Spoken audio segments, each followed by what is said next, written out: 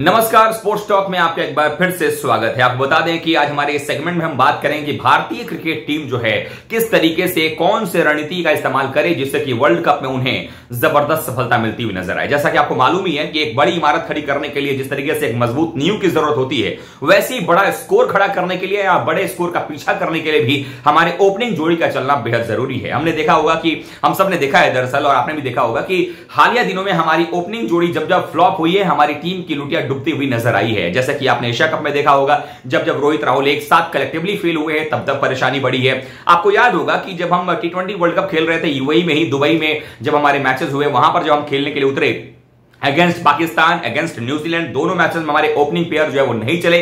और उनके ना चलने की वजह से भारतीय टीम की खराब शुरुआत की वजह से हम मुकाबले को गंवा गए। और वो दो मैचेस हारने की वजह से हम वर्ल्ड कप के ग्रुप स्टेज से ही बाहर हो गए। उसके बाद आप देखें एशिया कप में भी हम दो ही मैच हारे सुपर फोर में। और वही दोनों मैच कारण बन गए आपके एशिया कप के फाइनल में ना पहुँचने देने के लिए। इसलिए बहुत ज़रूरी है कि हमारे जो ओपनिंग प्लेयर है, वो हमें एक ऐसे मुकाम तक ले जाकर के छोड़े जहाँ से कि भारतीय बल्लेबाज जो है एक अच्छे स्कोर तक पहुँच पाए। इसका मतलब ये नहीं है कि सारे, सारा का सारा बोझ आप ओपनिंग प्लेयर पर ही डाल दें, बाकी मिडल ऑर्डर के बल्लेबाजों को भी कुछ करना पड़ेगा। लेकिन अगर आपके मिडल ऑर्डर के बल्लेबाज बहुत जल्दी एक्सपोज हो जाते हैं तो फिर परेशानियाँ बढ़ती हुई नज़र आ जाएँगी। और इसीलिए हमने ये आज का एक सेगमेंट आपके लिए लेकर के आए हैं, जहाँ पर हम ये जानना चाहते हैं और बताना भी चाहते हैं कि ओपनिंग पेयर कितनी इंपॉर्टेंट रोल प्ले करेगी वर्ल्ड कप के लिए, जबकि आप जब जाएँगे ऑस्ट्रेलिया में खेलेंगे, और खास करके ऑस्ट्रेलियन कंडीशंस में, जहाँ पर पिचेस जो है वो बाउंसी होती हैं, थोड़ा कैरी बाउंस ज़्यादा होता है, गेंदें अर्ली स्टेज में मूव करती हैं, और ऐसे में सावधानी बरतनी ज़्यादा ज़रूरी होगी, और पावर प्ले में अगर ज़्यादा रन आप रन नहीं बनाते हैं तो विकेट भी ज़्यादा ना गवाएँ आप सबने देखा होगा कि विराट आपके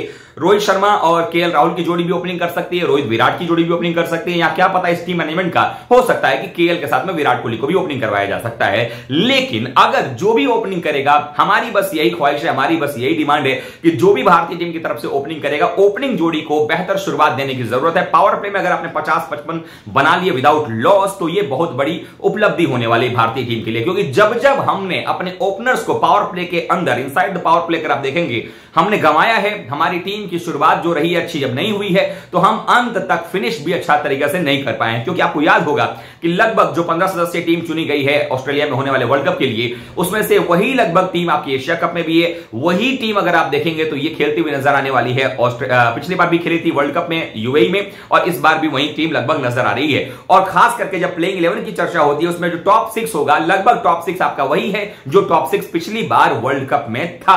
या यूँ कह लें कि जो एशिया कप में था। दो मैचेस आप एशिया कप में हारे आप फाइनल तक नहीं पहुँच पाए। तो सबसे बड़ा सवाल यही है गेंदबाजों की भूमिका अपनी अलग होगी, बल्लेबाजों की भूमिका अपनी अलग होगी, हर खिलाड़ी की अपनी अपनी इंडिविजुअल ब्रिलियंस जो है वो देखना, दिखाने की ज़रूरत होगी। लेकिन ओपनिंग की जहाँ तक बात है बार बार स्पोर्ट्स ऑफ़ ने इस बात को कहा है कि ओपनिंग प्लेयर का चलना ज़रूरी है।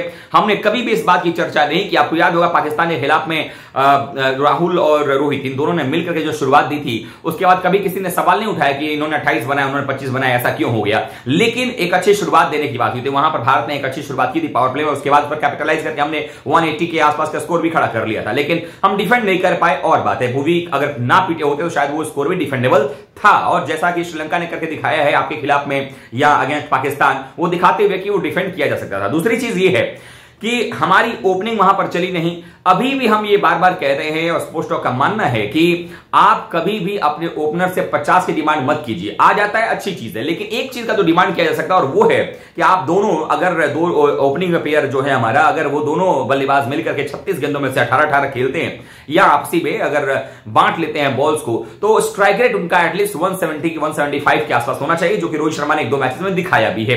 तो हो सकता है कि छह में अगर आपने साठ बना दिए, पचास बना दिए, पचपन बना दिए, अगर एक ही विकेट गिरा हुआ है तो एक ओपनर को कोशिश करनी चाहिए कि वो मैच को दसवें, बारहवें ओवर तक लेकर के जाए। जाए और जो दोनों ओपनर हैं, इन दोनों ओपनर को मिलकर के एक बेहतर शुरुआत देना होगा, ताकि उसके बाद जो बल्लेबाजी, जैसे नंबर तीन अगर विराट कोहली आते हैं, उनके पास मौका होगा इनिंग को बिल्ड करने का, उसके बाद स्ट्राइक रेट बेहतर करना है, जैसा विराट ने करके दिखाया भी है।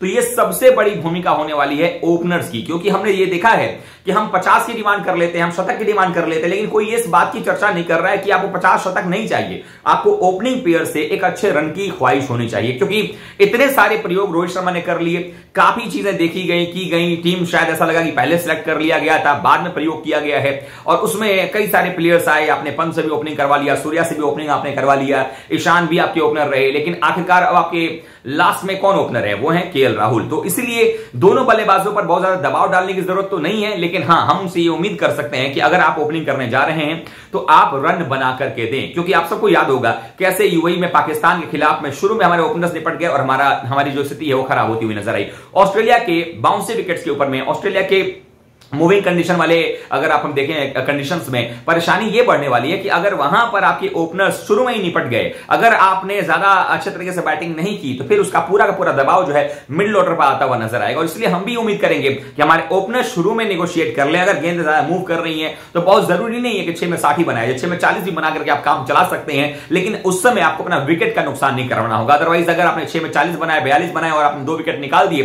तो परेशानी भारतीय टीम के लिए बढ़ जाएगी। तो हमारा यह मानना है कि वर्ल्ड कप जीतने के लिए जितनी इंपॉर्टेंस आप देते हैं अपनी गेंदबाजी को, उससे थोड़ा भी कम आपके ओपनर्स का नहीं है। मिडिल ओवर्स में मिडिल ऑर्डर के बल्लेबाजों की जवाबदेही अलग हो जाती है, लेकिन ओपनिंग पहली बात है, जो न्यू खड़ा करना है बड़े स्कोर के लिए, उसके लिए ज़रूरी ये होगा कि रोहित और राहुल की जोड़ी है, या रोहित विराट की जोड़ी जो है, वो एक बेहतर शुरुआत देती हुई नज़र है। आप क्या सोचते हैं? क्या आपको भी ये लगता है कि हाँ ओपनिंग जोड़ी का चलना बहुत ज़रूरी है? क्योंकि जब जब ओपनिंग जोड़ी चलती है, हम एक बड़े स्कोर तक पहुँच जाते हैं देन उसके बाद वो काम गेंदबाजों का हो जाता है, उस रन को डिफेंड करने का।